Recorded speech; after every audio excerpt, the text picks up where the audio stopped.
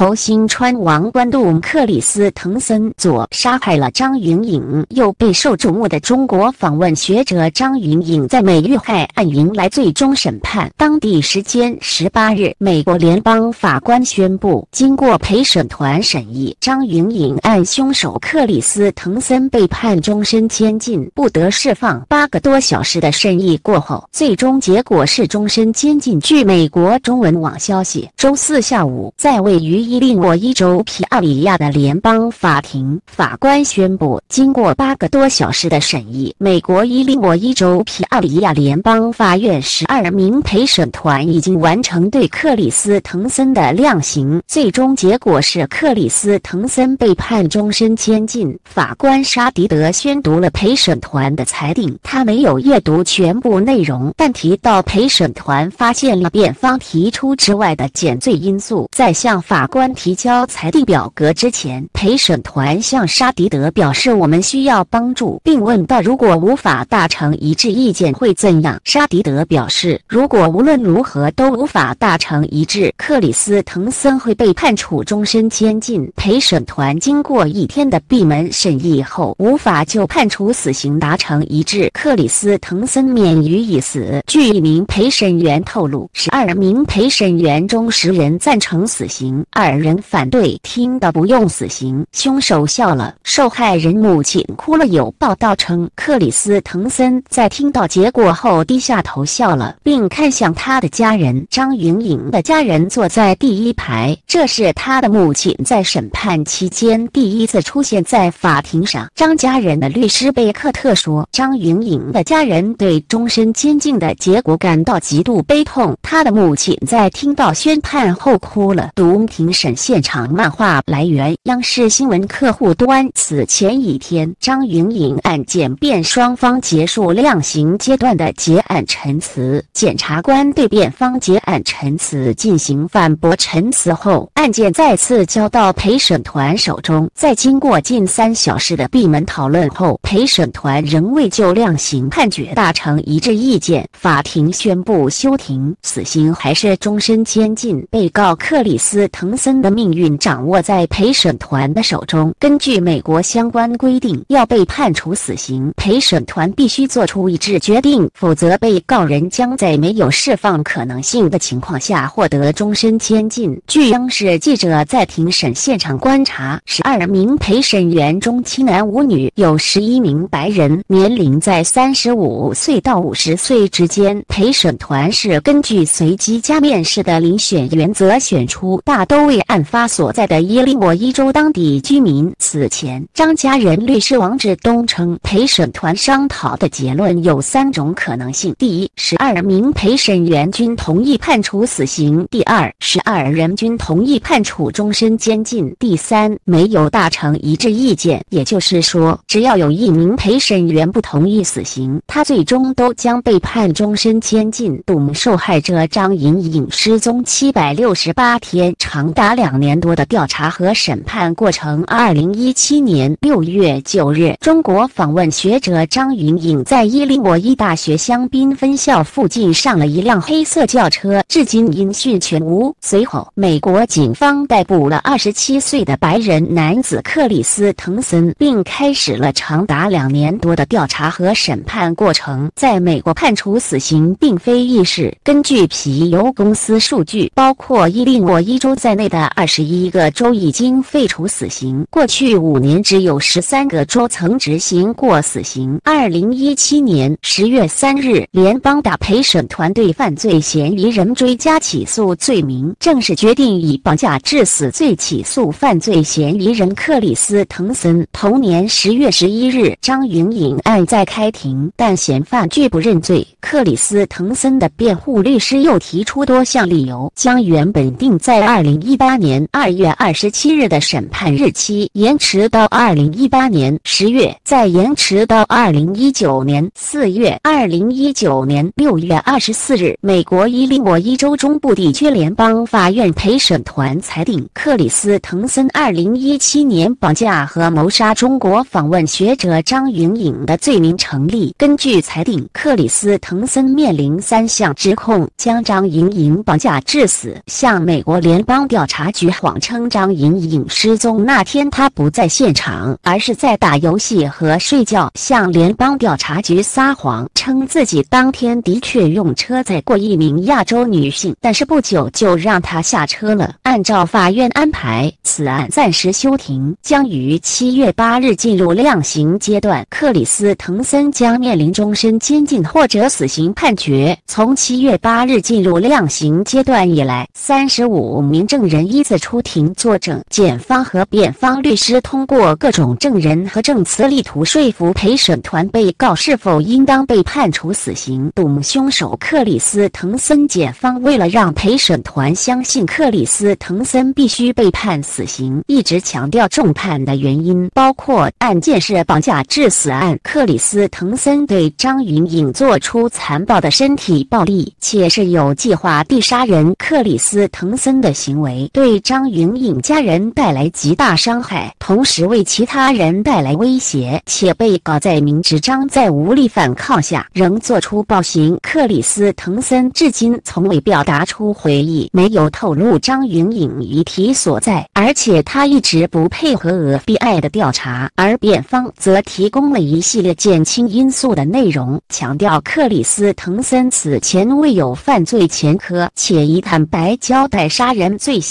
其父母患有精神病。如克里斯滕森被判死刑，其父母会失去唯一可依靠的人。克里斯滕森的精神状态不佳，曾表现出严重抑郁倾向。辩方通过各种证人和证词，将被告描述为一个聪明而有礼貌的年轻孩子，正在努力应对抑郁、焦虑、睡眠以及酗酒等问题。张云颖案家属代理律师王。志东此前曾表示，是如果克里斯滕森被判终生监禁，辩方上诉的可能性相当小。美国的终生监禁意味罪犯不得保释，即不存在保释、假释、减刑或保外就医等任何离开监狱的可能性。一旦被判决终身监禁，克里斯滕森将最终死在牢里。张云颖父亲要被告说出女儿下落，我们要把云颖带回家宣判后，张云。颖父亲张荣高发表了声明，全文如下：陪审团已经做出决定，庭审也已经结束，莹莹却仍然没有回家。我们的目标从来就是，也将一直是带莹莹回家。除非做到了这一点，我们将不会得到平静，也不会放心。我们感谢本案的陪审团以及在本案中致力于伸张正义的人们，他们严肃认真地对待职责，遵守法律，因为他们理解法。法律在本案中的意义，我们理解一位或几位陪审员不能做出对被告判处死刑的决定，尽管我们不同意这样的结果，我们可以接受罪犯将在监狱里度过余生，这将在一定意义上弥补我们的创伤。我们希望他在监狱里面的每一天都感受到我们失去莹莹所感受到的痛苦。我们再次感谢检察官、警官和其他执法人员为莹莹讨回公道所付出的努力。我们感谢法庭人员在庭审中对我们的照顾。我们感谢伊利诺伊大学和一周中部的中国社区，也感谢所有在美国、中国和世界各地支持我们度过难关的人们。我们被所有人带来的善意和友谊感动着。现在庭审已经结束，陪审团也做出了决定。我们要求被告无条件地告知我们莹莹的下落。如果你的灵魂中还残留有任何人性，请。帮助结束我们的煎熬，